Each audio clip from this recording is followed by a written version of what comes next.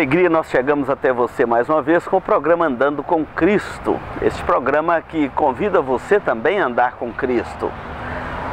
Andar com Cristo deve ser a alegria do coração de todos nós. Esses dias de coronavírus e epidemia, eh, isolamento social, tantas coisas, as pessoas estão reavaliando as suas vidas. Eu espero que você também faça uma reavaliação da sua vida. Porque nós vemos nesse momento que a única coisa que nos sobra, a única coisa que é real é Cristo. Onde você tenha colocado a sua confiança, você agora vai ver que pouco vale. As coisas que às vezes você colocou muito valor, você acaba reconhecendo que pouco vale num momento como este. Mas andar com Cristo é a alegria nossa todos os dias, a todo momento. E hoje eu quero gravar um programa especial para você com o tema Saudades do Templo, baseado no Salmo 84. Já há dias que, eh, desde o dia 18 de março, que a igreja foi impedida de congregar por causa de evitar a aglomeração, orientações sanitárias das autoridades de saúde, autoridades do eh, governo federal, estadual, municipal. E muitos irmãos têm manifestado a saudade que estão do templo.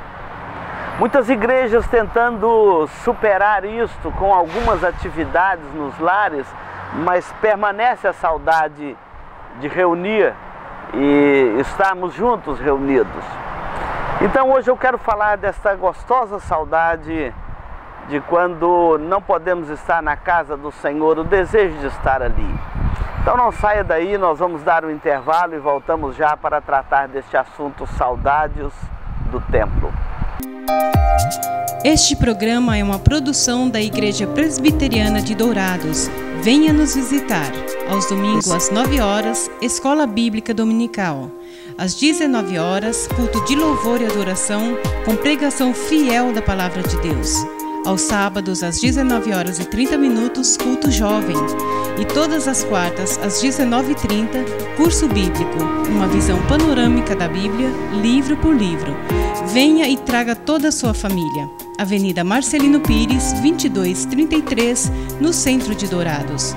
Mais informações ligue 3421 0381.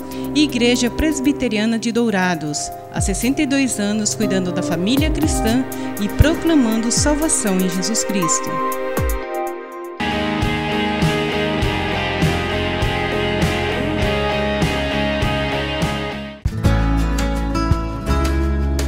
Se você busca tranquilidade e a certeza que sua vida e seus bens estão assegurados com as melhores seguradoras do país, Douraseg é administradora e corretora de seguros, que é especializada em seguros de automóveis, residências, empresas, agrícolas, de vida e muito mais.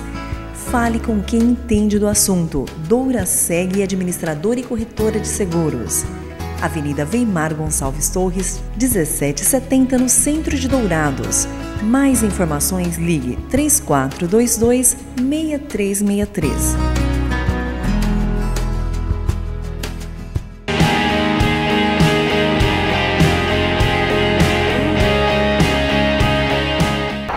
Salmo que eu vou ler para você, para a nossa meditação nesse dia, é o Salmo 84.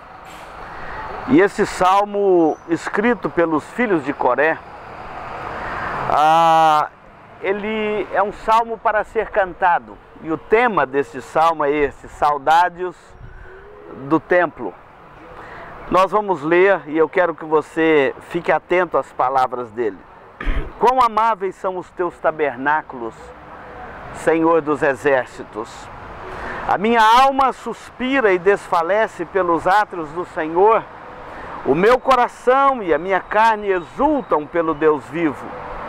O pardal encontrou casa e a andorinha ninho para si, onde acolha os seus filhotes. Eu, os teus altares, Senhor dos exércitos, Rei meu e Deus meu. Bem-aventurados os que habitam na tua casa, louvam-te perpetuamente. Bem-aventurado o homem cuja força está em ti, em cujos caminhos ou em cujo coração se encontram os caminhos aplanados, o qual, passando pelo vale árido, faz dele um manancial. De bênçãos o cobre a primeira chuva. Vão indo de força em força, cada um deles aparece diante de Deus em Sião. Senhor, Deus dos exércitos, escuta minha oração. Presta ouvidos, ó Deus de Jacó. Ó Deus, escudo nosso, olha e contempla o rosto do teu ungido. Pois um dia nos teus átrios vale mais que mil. Prefiro estar à porta da casa do meu Deus a permanecer nas tendas da perversidade. Porque o Senhor Deus é sol e escudo, o Senhor dá graça e glória. Nenhum bem sonega aos que andam retamente. Ó Senhor dos exércitos, bem-aventurado o homem que em ti confia. Esse salmo fala da saudade do templo. Certamente os filhos de Coré, quando escreveram este salmo, refletia exatamente sobre aqueles intervalos, não só de um domingo ao outro, mas talvez de uma festa da Páscoa a outra, ou de um encontro ao outro na casa do Senhor, ou por algum tempo, por exemplo, durante reinados que antecederam ao rei Josias, em que o templo em Jerusalém chegou a ser fechado, lacrado. E os filhos de Corá escrevem então este salmo para falar da saudade, do desejo deles de estar no templo. E como que um servo de Deus, uma serva de Deus, Aqueles que cultuam o nome do Senhor sentem falta quando estão impedidos de estar na casa do Senhor, seja por uma enfermidade, seja por uma viagem, ou até mesmo aqueles que se rebelam contra o Senhor e afastam da família da fé, afastam da presença do Senhor e de repente o seu coração sente saudade de estar no templo, na casa do Senhor, para adorar o nome do Senhor. Esse é um sentimento muito comum nos nossos dias, quando milhares e milhões de cristãos, não só aqui no Brasil, mas também em outras partes do mundo, estão impedidos de congregar para o momento do culto coletivo, para prestar a Deus a sua adoração, o seu louvor, a sua gratidão. E muitos defendem até aquela teoria dos desigrejados, que você pode ser crente em casa, você pode adorar a Deus na sua casa. E neste momento, até essas teorias encontram a sua própria fraqueza e o desejo de estar no templo, estar na casa do Senhor, sobrepõe a essas filosofias desencontradas e teologias é, feitas ao léu do coração humano ou meramente baseados no coração e na experiência humana, distanciada da palavra de Deus, neste momento nós vemos que não tem sentido. O salmista está dizendo aqui: quão amáveis são os teus tabernáculos, Senhor dos exércitos. É bom estar na tua casa, é amável estar na casa do Senhor, na presença do Senhor nosso Deus. A minha alma suspira, desfalece pelos atos do Senhor, o meu coração e a minha carne exultam pelo Deus vivo. É bom você lembrar que o segundo mandamento da lei de Deus fala para não fazer imagem de escultura, não adorar os ídolos, e nem imagens construídas pela mão dos homens. Mas por outro lado, você pode dizer, mas eu não adoro imagem. Você não cumpriu o mandamento do Senhor apenas por não adorar imagem. Ao mesmo lado, ou ao mesmo tempo, o mandamento que nos proíbe fazer e adorar imagem eh, nos manda adorar a Deus. Se você não adora a imagem, mas também não adora a Deus, você continua em pecado. Não basta não adorar uma imagem, você precisa de adorar a Deus, o Deus vivo e verdadeiro. É por isso que quando estamos afastados eh, deste tempo de comunhão com os nossos irmãos, a família da fé, há um desejo, aqui diz o texto, a minha alma suspira e desfalece pelos atos do Senhor. Há um desejo de estar na casa do Senhor, na presença do Senhor nosso Deus, junto com o povo de Deus, para adorar o nome de Deus. Nós não conseguimos reproduzir isso nas nossas casas, na dimensão que é feito quando nós nos reunimos para a adoração do nome do Senhor e juntos cantarmos, ouvirmos a palavra de Deus, orarmos uns pelos outros e tributar a Deus a glória que é devida ao seu santo nome. Então, o, salmista fala que o meu coração deseja, anela. Ele diz aqui o texto desfalece de vontade de estar na casa do Senhor. Meu querido telespectador, tão logo terminar esta quarentena, nós vamos fazer um grande momento na casa do Senhor para celebrarmos o retorno do povo de Deus à casa de Deus para a adoração do nome de Deus e eu espero que você esteja presente conosco para este belo momento. O salmista compara a sua situação com a dos pássaros. Ele diz: O pardal encontrou casa e a andorinha ninho para si onde acolha os seus filhotes. Mas eu encontrei os teus altares, Senhor, Rei meu e Deus meu.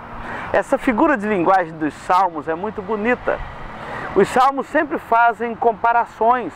O pardal encontrou casa, a andorinha, que às vezes faz ninho na própria casa do Senhor, no templo, ela encontrou o seu ninho, ela encontrou o seu refúgio, mas ele diz: Eu só encontro refúgio quando eu posso estar na presença do Senhor, meu Deus. E lembrando que para o povo de Israel o templo era mais do que apenas um prédio para eh, reuniões, para se congregar, o templo era o centro do culto, da adoração a Deus. Havia umas convocações solenes que ninguém podia faltar. E todos tinham desejo de estar na casa de Deus, até porque o livro da lei de Deus estava lá. O sacerdote estava lá para ler e explicar a lei de Deus para o povo. Os levitas, os cantores estavam lá para cantar. Então o templo era o centro do culto, o centro da adoração. E é por isso que ele diz: o pardal encontrou casa, andorinha ninho, mas eu encontrei os teus altares, Senhor, onde o meu coração encontra refrigério. Então ele diz aqui: bem-aventurados os que habitam na tua casa, bem-aventurados aqueles que te louvam perpetuamente, constantemente. Bem-aventurado é o homem cuja força está em ti e em cujos caminhos ou em cujo coração é, encontram os caminhos aplanados. A palavra do Senhor ela vem para aplanar os nossos caminhos, para nós não pisarmos em falso, para nós não cedermos à incredulidade do nosso tempo, para nós não cedermos às inquietações, às aflições do nosso tempo, para nós não nos entregarmos às aparências deste mundo e nem nos entregarmos a meras circunstâncias deste mundo. Pardal.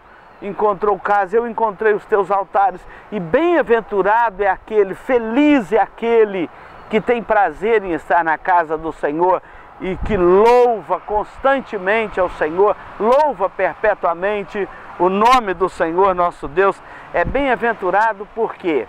porque encontra força em Deus, encontra regozijo em Deus, encontra em Deus satisfação para a sua alma. Aqui fala, é, os seus, o seu coração encontra os caminhos aplanados do Senhor. Deus vem aplanar os nossos caminhos.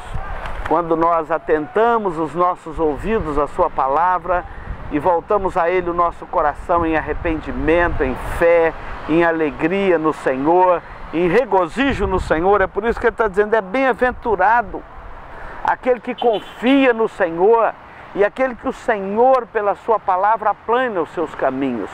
Meu querido telespectador, a minha oração por você, pela sua família, pela sua casa, nesse tempo de pandemia no mundo e de tantas inquietações no coração das pessoas, é que você encontre na palavra de Deus os caminhos aplainados do Senhor, para você andar por ele e ter segurança na sua alma, ter confiança no Deus da nossa salvação. Não saia daí, nós daremos um intervalo e voltamos para concluirmos a meditação desse Salmo 84. Este programa é uma produção da Igreja Presbiteriana de Dourados. Venha nos visitar.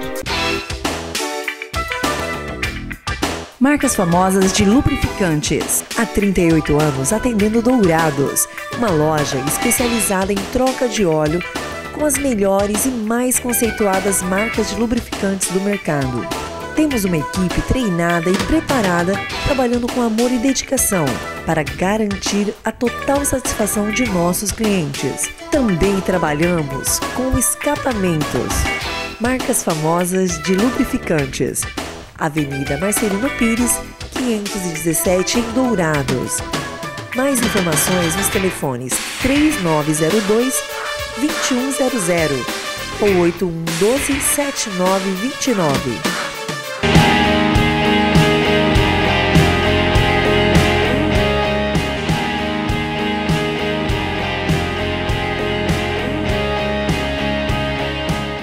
Hoje nós estamos aqui no pátio da igreja, uh, tendo o templo aos fundos, a igreja presbiteriana de Dourados, também chamada Igreja do Relógio, comumente chamada aqui na cidade. Lendo e meditando nesse Salmo 84, saudades do templo, quando nossas famílias estão impedidas por esses dias de congregar em culto público, por causa da pandemia do coronavírus e do isolamento social colocado sobre a nossa pátria. E há no coração das famílias uma saudade de estar na casa do Senhor, uma saudade do templo. E então estamos meditando neste Salmo 84 que nos dá algumas razões porque nós sentimos saudades do templo, de estar na presença do Senhor com a família da fé. Então o salmista ele está não só contemplando esta realidade do coração humano, mas lembrando também de muitos que se afastam da presença do Senhor e não há nenhuma pandemia e mesmo assim ele não vem ao templo. Ou quando vem, não zela por uma frequência assídua à casa do Senhor, aos cultos, à presença do Senhor nosso Deus. E é num momento como esse que nós vemos como nos faz falta estarmos juntos, congregados como família na, da fé, na presença do Senhor nosso Deus. O salmo continua dizendo: Senhor dos exércitos, escuta minha oração, presta ouvidos, ó Deus de Jacó. É como alguém que está dizendo: Eu estou longe da casa do Senhor, mas não estou longe do Senhor nosso Deus. Eu posso orar aqui, o Senhor me ouvirá do seu alto e sublime trono. Escuta, olha, Deus, escudo nosso, contempla o rosto do teu ungido. E ele então relata a ansiedade da sua alma, da ausência do templo, quando ele diz: Pois um dia nos teus átrios valem mais que mil. Um dia nos átrios do Senhor, na casa do Senhor, na presença do Senhor, aquele momento de culto que nós cantamos, oramos, ouvimos a palavra de Deus, a pregação da palavra de Deus, um dia nos teus átrios, quantas coisas proveitosas valem mais que mil. Prefiro estar nos átrios da casa do nosso Deus a permanecer nas tendas da perversidade. O salmista quer dizer estar no pátio. Se eu chegar lá não me deixar entrar no templo, estar no pátio da casa do Senhor ainda é melhor do que estar na tenda da perversidade, porque o Senhor Deus é sol e escudo, o Senhor da graça e glória. Os benefícios que o Senhor tem para a alma humana, ele não encontra em nenhum outro lugar, não há repouso para a alma humana senão exclusivamente no Senhor nosso Deus. E o salmista contempla isto vale mais que mil. Um dia, nos atos do Senhor, a tenda da perversidade, o homem que se rebela contra Deus no seu coração e começa a procurar ah, os prazeres desta vida, as tendas da perversidade, que não traz nenhum proveito à sua alma. O salmista está comparando estas coisas e talvez seja a realidade da sua alma enquanto você ouve a exposição desse Salmo 84, enquanto você está ouvindo a palavra de Deus, seja a realidade nua e crua da sua alma. Talvez por algum tempo você afastou de Deus, da presença do Senhor, da casa do Senhor, nosso Deus, não por causa do isolamento social agora, dos nossos dias, mas por rebeldia do seu próprio coração e está desejoso de voltar à casa do Senhor, nosso Deus, aproveite esse tempo.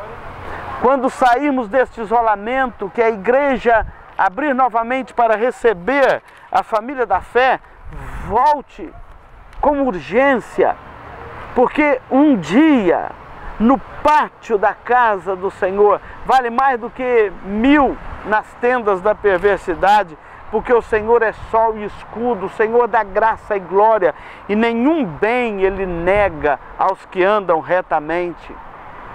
O Senhor tem bênçãos especiais para a sua vida, para a sua alma, se você voltar em arrependimento e confissão à sua santa e bendita presença. É o Senhor quem dá graça e glória.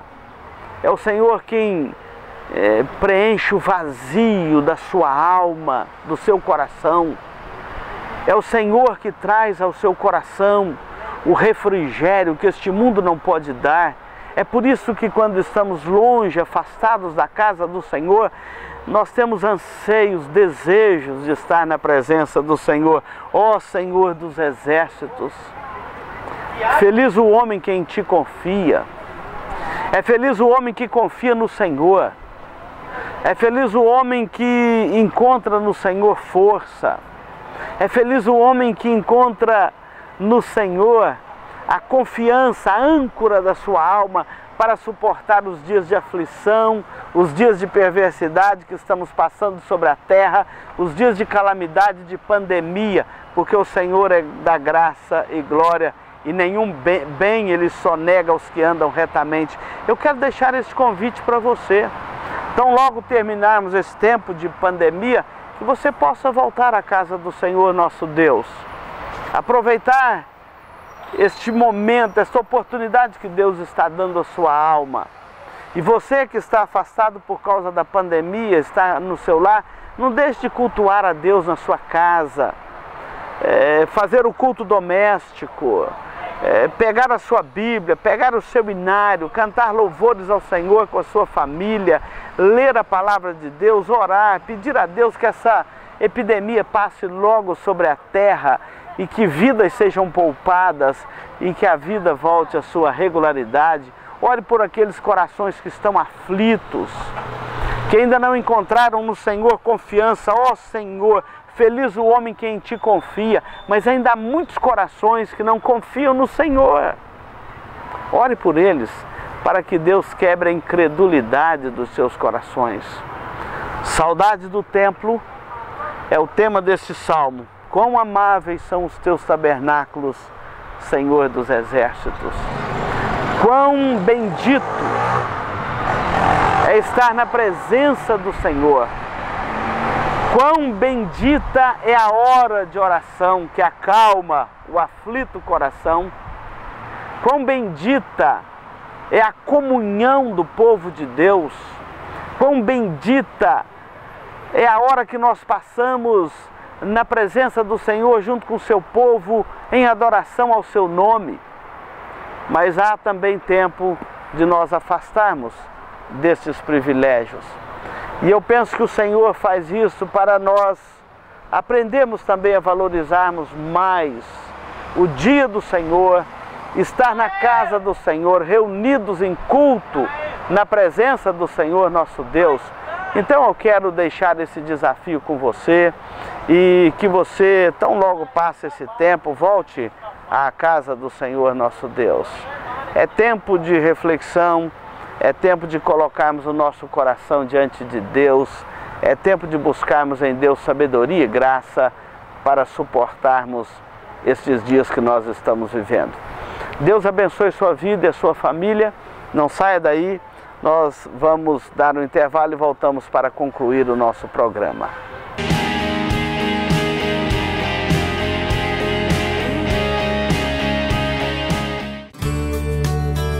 Farmavida, há 19 anos formulando medicamentos com qualidade. A Farmavida manipula também fitoterápicos, cosméticos com formulações rejuvenescedoras, shampoos, hidratantes, filtros solares.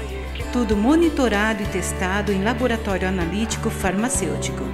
Os seus produtos possuem padrões rígidos sanitários e têm compromisso com o meio ambiente. Farmavida, Rua Hilda Bergo Duarte, número 296, no centro de Dourados. Mais informações 3422 2859. Farma Vida, a saúde em primeiro lugar.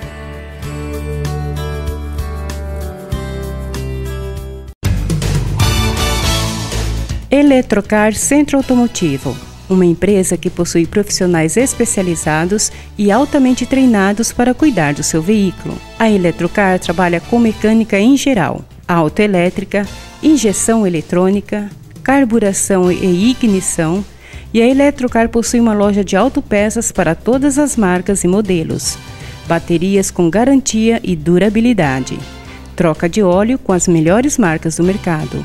E se você vai viajar, fale com o amigo Clorival e deixe o seu veículo nas mãos de quem entende do assunto. Eletrocar, Rua dos Missionários, número 784, em Dourados. Mais informações: 3422 7507.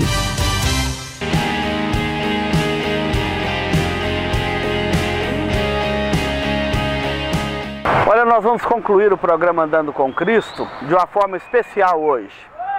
Nós vamos concluir recitando o Salmo 122, que diz assim: Alegrei-me quando me disseram, vamos à casa do Senhor.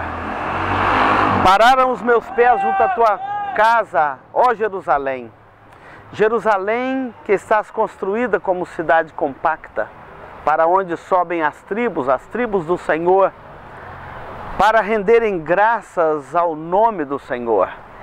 Lá estão os tronos de justiça, os tronos da casa de Davi. Orai pela paz de Jerusalém. Sejam prósperos os que te amam. Reine paz dentro em teus muros e prosperidade nos teus palácios.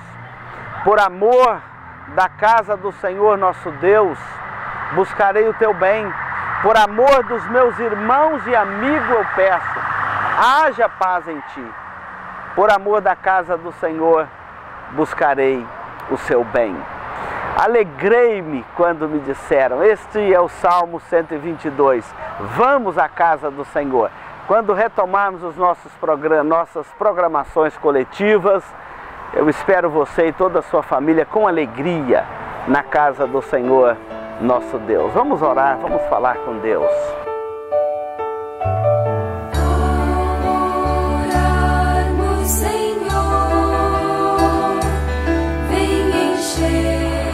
Ó Deus de eternas misericórdias, nós oramos pela nossa cidade, pelo nosso estado e o nosso país nesses dias da pandemia do coronavírus. Oramos pelo mundo. Pedimos que o Senhor estenda a tua mão de graça e misericórdia e faça cessar essa epidemia. Oramos pelas famílias que estão nos acompanhando agora. Que o coração delas sejam cheios da tua graça e da tua misericórdia. Recebe a nossa gratidão porque o Senhor está sob o controle de todas estas coisas e o nosso coração pode descansar em Ti. Recebe a nossa gratidão no nome de Jesus. Amém. Olha, eu quero dizer para você que a nossa programação da igreja na quarta-feira, às 19h30, estudo bíblico, está sendo transmitido pelo canal do YouTube da Igreja TV IPB Dourados. No domingo de manhã, às 9 horas, também estamos transmitindo pelo YouTube. E no domingo à noite você pode acompanhar aqui na TV Grandourados ou pelo canal do YouTube TV IPB Dourados, tá bom? Nossa gratidão por estar conosco. Continue na programação da TV Grandourados, a TV da família Douradense.